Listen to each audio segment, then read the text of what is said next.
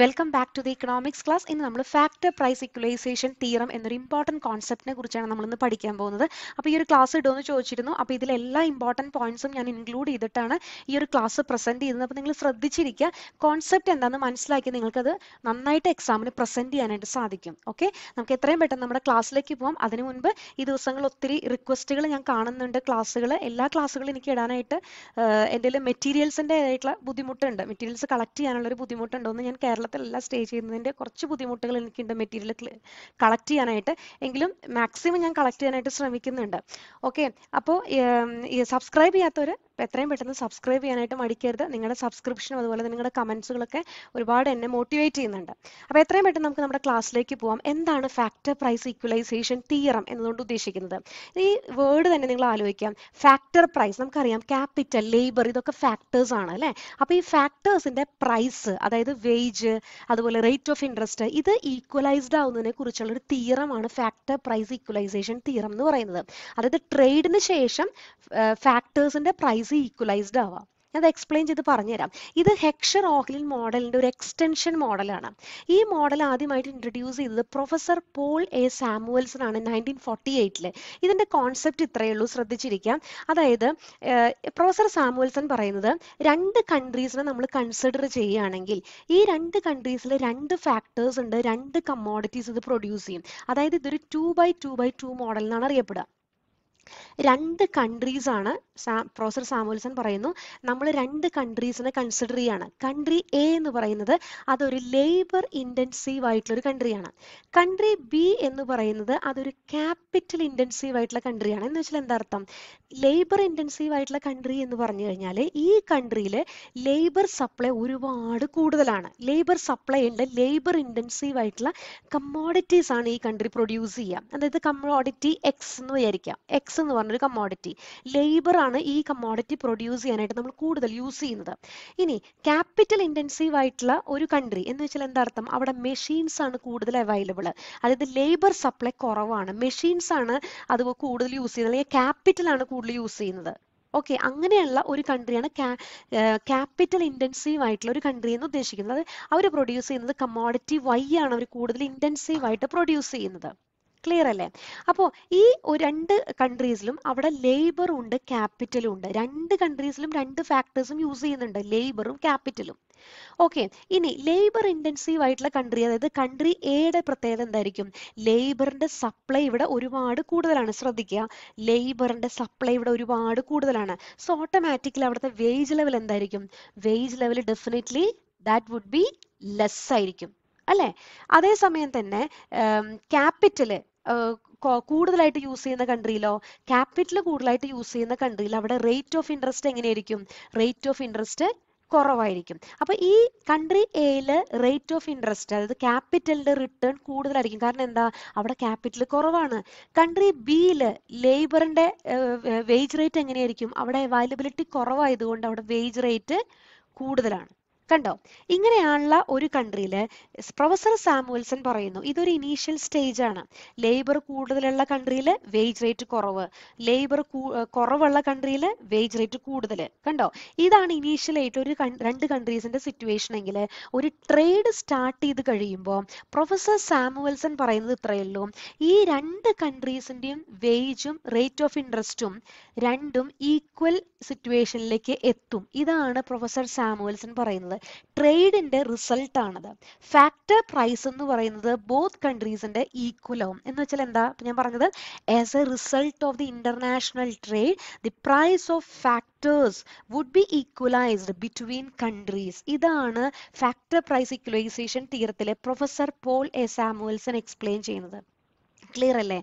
ഇനി ഇമ്പോർട്ടന്റ് ആയിട്ടുള്ള പോയിന്റ് ശ്രദ്ധിക്കുക. Initially two countries face different prices for the output good എന്ന് വെച്ചാൽ എന്താ അർത്ഥം? ഞാൻ നേരത്തെ പറഞ്ഞതുപോലെ തന്നെ country A and country B country A എന്ന് പറയുന്നത് ഞാൻ വീണ്ടും പറയുന്നു ലേബർ ഇന്റൻസീവ് കൺട്രി ബി എന്ന് പറയുന്നത് ക്യാപിറ്റൽ ഇന്റൻസീവ് ക്യാപിറ്റൽ കൂടുതൽ യൂസ് ചെയ്യുന്നു. സോ നമ്മൾ നേരത്തെ പറഞ്ഞു ഇവിടെ വേജ് റേറ്റ് ലേബർ സപ്ലൈ കൂടുതലായതുകൊണ്ട് തന്നെ വേജ് റേറ്റ് എന്താണ്?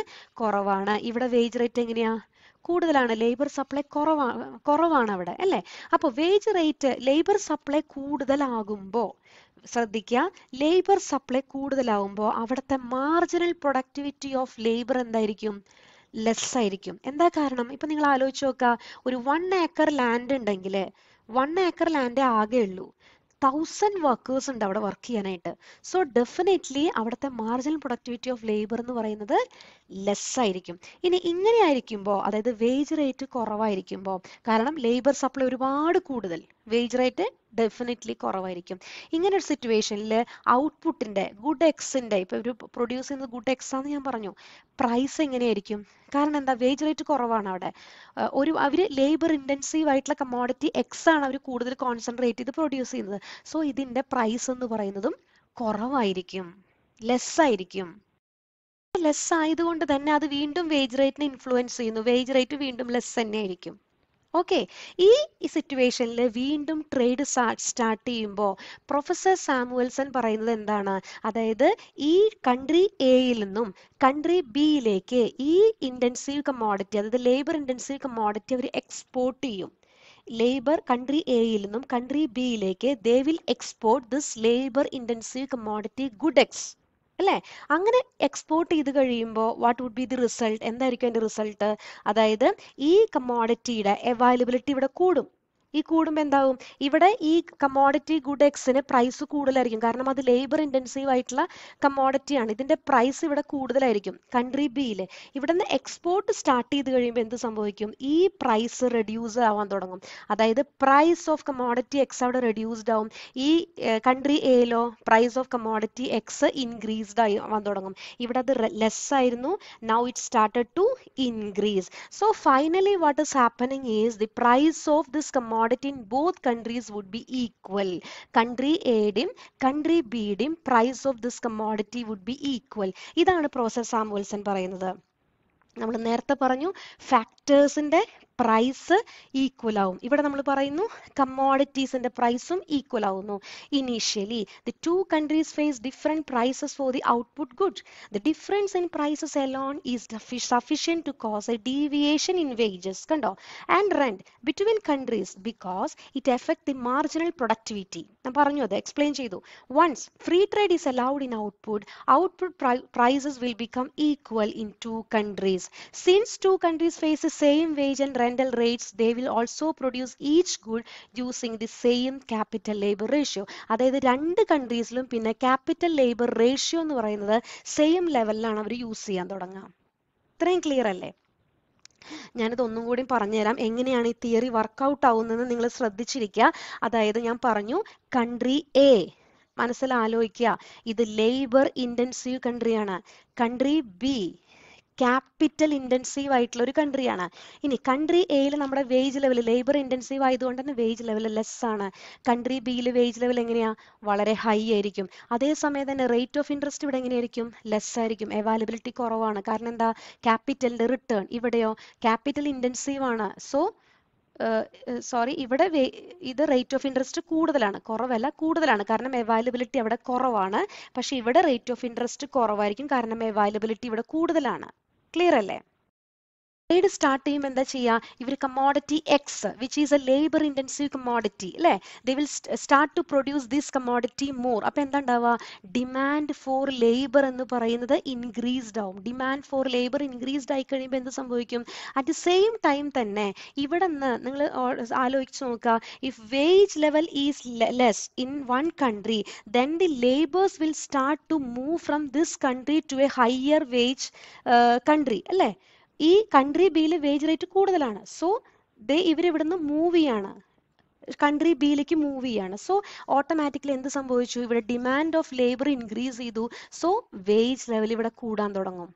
വേജ് ലെവൽ കൂടും. അതേപോലെ തന്നെ same principle is working in rate of interest also that is return of the capital rate of interest ഇവിടെ ഡിക്രീസ്ഡ് ആവാൻ തുടങ്ങും. അപ്പൊ ഈ ഒരു കൺട്രിയിൽ നമ്മൾ പറഞ്ഞിട്ടുണ്ടായിരുന്നു വേജ് ലെവൽ ഹൈ ആയിരുന്നു അല്ലേ? സോ ഈ വർക്കേഴ്സ് ഈ കൺട്രി എയിൽ നിന്നും കൺട്രി ബിയിലേക്ക് മൂവ് ചെയ്യാൻ തുടങ്ങുമ്പോൾ എന്ത് സംഭവിക്കും? So the supply of labour also would be increased in country B ഇവിടെ കുറവായിരുന്നു ഇവിടെ ഇൻക്രീസ്ഡ് ആവാൻ തുടങ്ങും. അപ്പോൾ ഹയർ വേജ് എന്നുള്ളത് വേജ് ലെവൽ ഇവിടെ കുറയാൻ തുടങ്ങും വേജ് ലെവൽ ഡിക്രീസ് ചെയ്യാൻ തുടങ്ങും.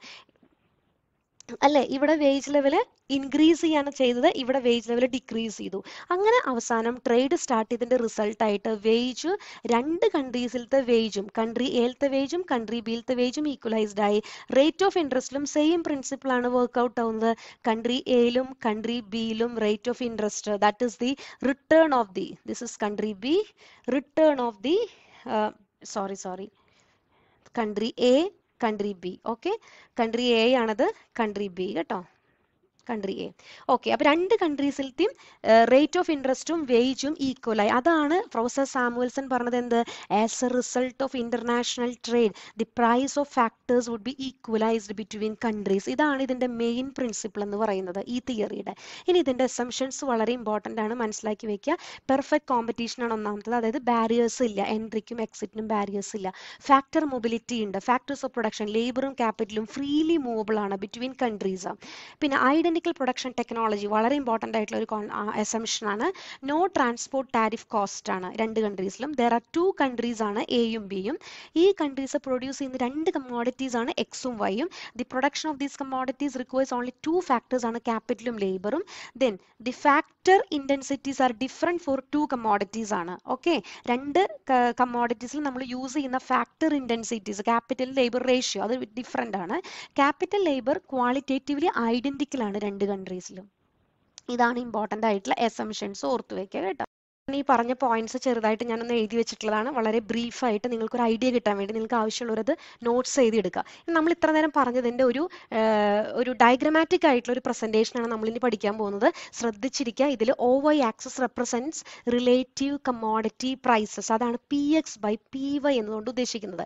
റിലേറ്റീവ് കമോഡിറ്റി പ്രൈസസ് രണ്ട് കമോഡിറ്റീസിന്റെയും പ്രൈസിന്റെ റേഷ്യോ അല്ലേ? ഇവിടെ ഒ എക്സ് ആക്സസ് കാണിക്കുന്നത് എന്താ? റിലേറ്റീവ് ഫാക്ടർ പ്രൈസസ് ആണ് ഡബ്ല്യു ബൈ ആർ എന്ന് പറയും. നമ്മൾ പറഞ്ഞു രണ്ട് കൺട്രീസ് ഉണ്ട്.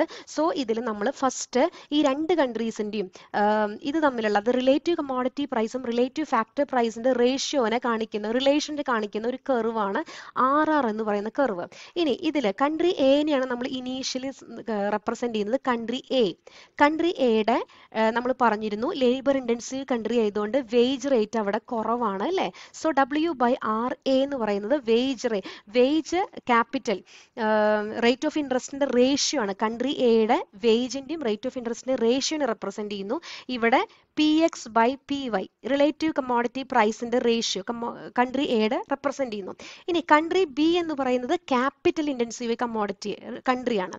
സോ ഇവിടെ ഡബ്ല്യു ബൈ ആർ ബി എന്ന് പറയുന്നത് കൺട്രി ബിയുടെ വേജ് റേറ്റിനെ വേജ് ക്യാപിറ്റൽ റേഷ്യോനെ കാണിക്കുന്നതാണ്.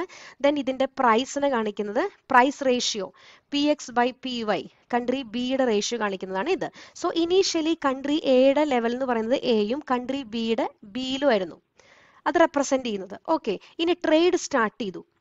ട്രേഡ് സ്റ്റാർട്ട് ചെയ്യുമ്പോൾ എന്താ സംഭവിക്കാം ഞാൻ പറഞ്ഞു കമ്മോഡിറ്റീസിന്റെ പ്രൈസ് ഇവിടെ കമ്മോഡിറ്റി എക്സിന്റെ പ്രൈസ് ഈ കമോഡിറ്റിയുടെ പ്രൈസ് ഇൻക്രീസ് ചെയ്യും. അതേസമയം തന്നെ കൺട്രി എയിൽ കൺട്രി ബിയിൽ ഇതിന്റെ പ്രൈസ് ഡിക്രീസ് ചെയ്യും.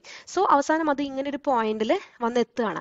അതേസമയം തന്നെ ഇതിൽ പ്രൈസിൽ ചേഞ്ച് വരുമ്പോൾ ഇവിടുന്ന് പ്രൈസ് ഇൻക്രീസ് ചെയ്തു ഇവിടുന്ന് പ്രൈസ് ഡിക്രീസ് ചെയ്തു അല്ലേ? ഇങ്ങനെ വരുമ്പോൾ ഇവിടുന്ന് ഓട്ടോമാറ്റിക്കലി അതിന്റെ ഫാക്ടർ പ്രൈസസിന്റെ ഫാക്ടേഴ്സിന്റെ പ്രൈസിനെയും അത് ഇൻഫ്ലുവൻസ് ചെയ്യുന്നു.